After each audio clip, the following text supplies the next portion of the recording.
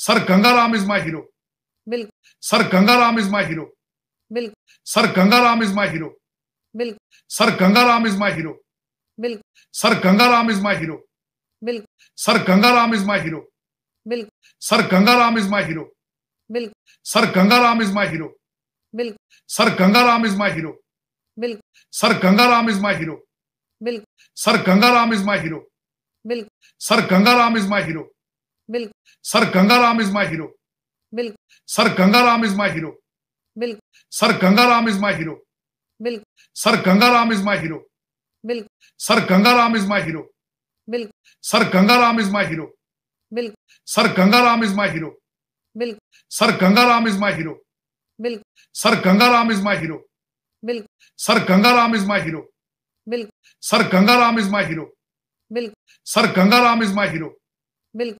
Sir Gangaram is my hero बिल्कुल। Sir Gangaram is my hero बिल्कुल। Sir Gangaram is my hero बिल्कुल। Sir Gangaram is my hero में आप देख सकते हैं किस तरीके से बात हो रही है कि जो साजिद तरार एक्सप्लेन कर रहे हैं कि जो हमारे पूर्वज थे वो हिंदू थे और उन्होंने हमारे लिए बहुत कुछ किया हमें उन पर गर्व होना चाहिए। उन्होंने छोटा सा एग्जांपल दिया किसका?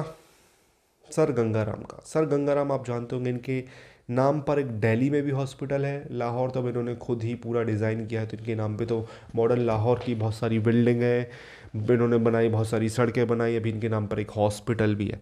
पहले ये पूरा वीडियो देखते हैं वीडियो के लास्ट में करते हैं इस टॉपिक पर डिटेल बात। अगर आपको ये वीडियो पसंद आए तो सर डॉक्टर परवेज ऊद भाई हीरो है सतार इंदीद साहब तो अभी कल आए हैं। Sir Gangaram is my hero बिल्कुल। Sir Gangaram is my hero जिसने जिसने लाहौर के नक्शे बनाए आज भी बिल्डिंगें खड़ी हैं वो। आज भी वो हॉस्पिटल खड़ा जो वो बना कर गए हाँ। तो मैं मेरे हीरो ये है मैं समझता हूँ ज़िंदगी मज़हब मजहबी जो आप मज़हब के नाम पे किसी की आ, किसी को कार्नर करेंगे I am not that kind of person बल्कि मैं ये मेरी रिक्वेस्ट होगी कि पाकिस्तानी अगर कोई देख रहा है तो पाकिस्तान की हिस्ट्री पढ़े और लोकल हीरोज को रिकॉग्नाइज करें मुझे इंतहाई खुशी हुई थी लाहौर के पास उन्होंने भगत सिंह चौक रखा था नाम उसका। He is a hero of was from Lalpur और मैं मैं बिल्कुल और मैं, मैंने बड़ी डिटेल के साथ महाराजा रंजीत सिंह की हिस्ट्री पढ़ी what kind of brave person he was और दूसरा मैं आपको एक और बात आज बताना चाहता हूँ कि सबसे पहले पठानों के, अफगानियों के सामने शेखुपुरे के जो जाट बरादरी थी, सिख जो वो खड़े हुए थे, बच्चियाँ अगवा करके लेके जाते थे जब दिल्ली को लूटने आते थे, सबसे पहले वो खड़े थे। शब मारते थे, पहाड़ी, कश्मीर की पहाड़ियों पे चढ़ जाते थे, नीचे उतर के वो शब खून मारते थे, लाहौर के ऊपर सिख जो थे और पंजाब के अंदर हम जो ज़्यादा ज़्यादा क्या हंड्रेड परसेंट जो जाट हैं पंजाब में रहने वाले we are converted from Sikhism to to Islam और उसमें मुझे इस चीज़ पे फख्र है कि मेरे जो जो पुरखे थे देवर देवर उन्होंने बड़े बहादुरी के साथ लड़ते थे इसमें कोई शक नहीं। लेकिन ये फॉरन इन्वेडर थे यहाँ से मैं जुल्म करते थे यहाँ से बचियाँ अगवा करके जाके काबुल में मंडियों में बेचते थे ये लोग। ये इस्लाम आपको कह रहे हैं कि सोमनाथ के मंदिर को तोड़ने वाले ये इस्लाम की खिदमत कर रहे थे और जुल्म करते रहे लोगों को बाई फोर्स कन्वर्जन करते रहे ज़िंदगी में, मैं बता रहा मैं पूरी दुनिया में कहीं भी बाई फोर्स कन्वर्जन नहीं होती। तबलीग एक और चीज़ होती है, तबलीग करके किसी को कन्विंस करना, उसके दिल और दिमाग को चेंज करना एक अलग बात है। बाई फोर्स किसी लालच के ज़रिए जब कन्वर्ट किया जाता है, वो कन्वर्जन नहीं होती। इस्लाम के अंदर इनकी चीज़ों की गुंजाइश मौजूद नहीं है।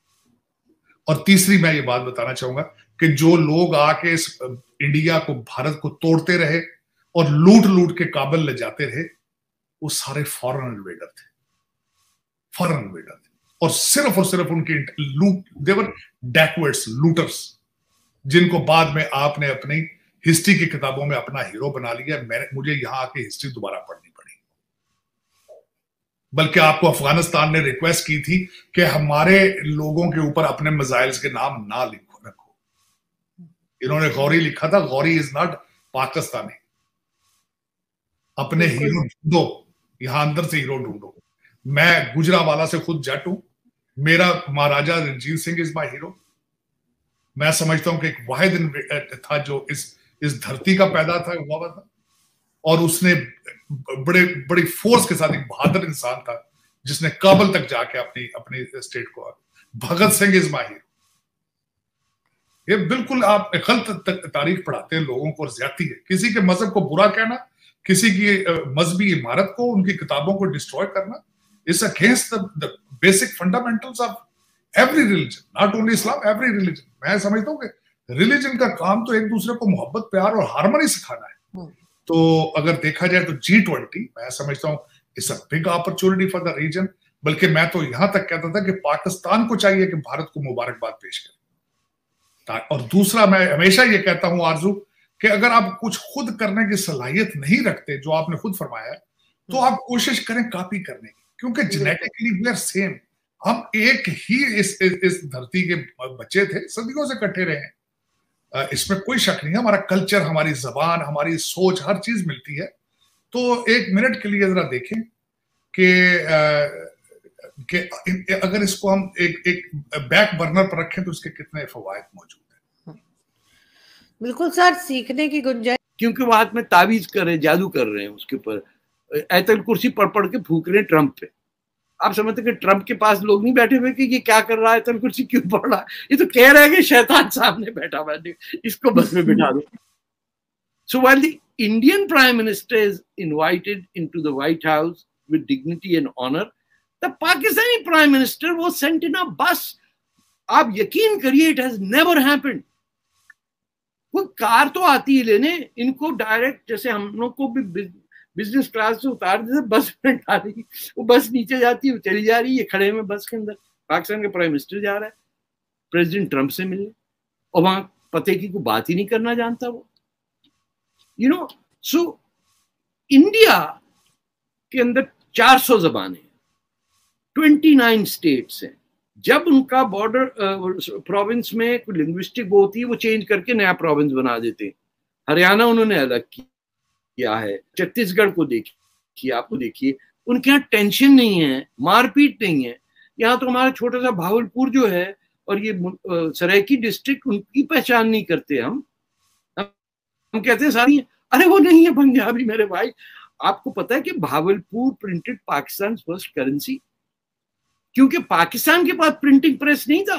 The state of Bahawalpur the joint Pakistan तो दोस्तों, ये वीडियो यहाँ पर होता है खत्म। आपने देखा किस तरीके से बातें हो रही हैं कि हमें अपने पूर्वजों पर गर्व करना चाहिए, ना कि दूसरों के जो इन्वेडर्स थे, जो दूसरों के हीरो हैं, उन पर गर्व करना चाहिए। हालाँकि ये चीज़ें आप भारत हो, पाकिस्तान हो, बांग्लादेश के मुसलमान हो, इनको सिखाना मतलब ये समझ लीजिए कि हिमालय को कुल्फ़ी दिखाना या सूरज को दीपक या चिराग दिखाना, जो भी बोल लीजिए आप, वो बात हो जाएगी। क्योंकि इनके लिए गौरी बांग्लादेश में बख्तियार खिलजी, जिसने आपको पता है ना, नालंदा विश्वविद्यालय की लाइब्रेरी जलाई थी, जो मेरे हिसाब से भारत की हिस्ट्री का सबसे बड़ा लॉस था, सबसे बड़ा मतलब इतने सारे डॉक्यूमेंट इतना बड़ा ज्ञान, ना जाने क्या क्या बातें जो शायद अब हम कभी नहीं जान सकते, वो ख़त्म कर दी, जिनकी शायद एक ही कॉपी अवेलेबल रही होगी उस पुस्तकालय में, उस लाइब्रेरी में। वो ख़त्म कर दी, वो मेरे हिसाब से उनको बहुत बड़ा हीरो माना जाता है। और बख्तियारपुर, बख्तियार खिलजी के नाम पे स्टेशन का नाम है, वहाँ पे कई ज़िले का नाम है, आप ये समझ सकते हो। यहाँ पर ये हिस्ट्री किस तरीके से, वो उनके हीरो हैं ऑब्वियसली और अफ़गानिस्तान के लोग कई बार बोल चुके हैं कि भाई तुम हमारे हीरोज़ के नाम पर मिसाइल क्यों रखते हो? गौरी, गजनबी ये मिसाइल तुम क्यों रखते हो? बाबर भी क्यों रखते हो? इस तरीके की चीज़ें वो बोलते हैं। हालाँकि बाबर को अफ़गानी पसंद नहीं करते हैं। उनका गौरी, गजनबी, इन लोगों को वो ज़्यादा पसंद करते हैं। और इनके नाम पे तुम क्यों क्यों अब्दाली, ये सब क्यों यूज़ करते हो? ये तो हमारे हीरो हैं। पाकिस्तान बेशम अब वो किन के नाम पे यूज़ करें? वो क्या तक्षशिला यूनिवर्सिटी के नाम, तक्षशिला के जो प्रोफेसर हैं चंद्रगुप्त? या आज अपने आचार्य चाणक्य मतलब चंद्रगुप्त सॉरी मैंने गलत बोल दिया। आचार्य चाणक्य का नाम यूज़ करें, या वो सिंधु घाटी की सभ्यता में जो चीज़ें निकली उनको बताएँ। ऑब्वियसली वो चीज़ें उनसे ही रिलेटिव हैं, उन्हीं के डीएनए से मैच करती हैं। बट जब आपको एक वायरस टच कर चुका है वायरस ट्रांसफ़र हो गया चार पाँच पीढ़ी तो डेफिनेटली फिर वो हेट इतना ज़्यादा है ना, वो काफिरों के प्रति हेट इतना ज़्यादा है कि वो एक्सेप्ट ही नहीं करेंगे। अब, जो ये साजिद तरार बात कर रहे हैं, ऐसा ही एक ज्ञानी हसन निसार है पाकिस्तान में, जो अब पूरी तरह से चेंज हो चुका है। हालाँकि उसका फ़ैन क्लब बहुत ज़्यादा है, शायद वो मुझे उल्टा सीधा भी बोले ये बात जो मैं बोल रहा हूँ। बट मैंने उसकी ऐसी ऐसी वीडियो देखी है कि भाई, वो भी बहुत बड़ा दुख